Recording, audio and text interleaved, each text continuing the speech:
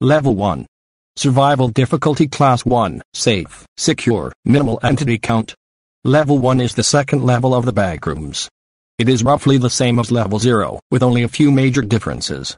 Description. Exact descriptions of level 1 vary somewhat, though most major details remain the same. The floor of this level has been described as being many things, like grass, sand, pavement, etc. But the grimy concrete walls and low-hanging fruit are almost always the same. In some places, the walls have been poorly painted with scenery to match the floor, but no one knows why. However, the most common theme in Level 1 is similar to the mono yellow design of Level 0. The key differences are concrete walls instead of wallpaper, tile floors instead of carpet, and dimmer fluorescent lights. Beans typically lurk at or above Level 1. Known beans on Level 1 include dullers, adult facelings, hounds, and skin stealers. There are multiple ways of reaching Level 1. Like other levels, it can be reached randomly with stairs, elevators, and hallways, and one also has a small chance of landing here when no clipping into the backrooms. In addition, at any point, there's a chance the lights will begin to flicker on and off. Eventually, the lights will turn off for minutes or hours at a time. While the lights are off, this level becomes very dangerous, so bring a light source if you're exploring. Level 1 is home to the hub. Colonies and outposts spend TG.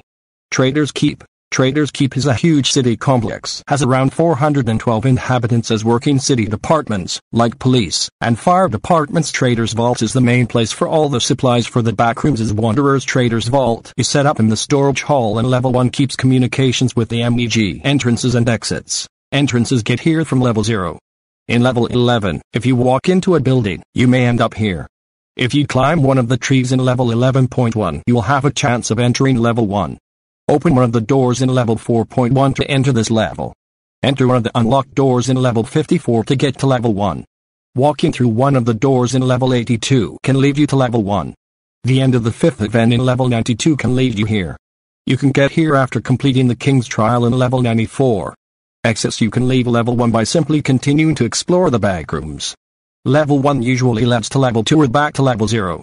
In level 1, it is possible to find holes in the walls that will lead to level 19 which are very rare. Entering a dark wall can rarely lead to level 28. Rarely, you may be transported to level 38 randomly. No clip through the ceiling and you will be at a party.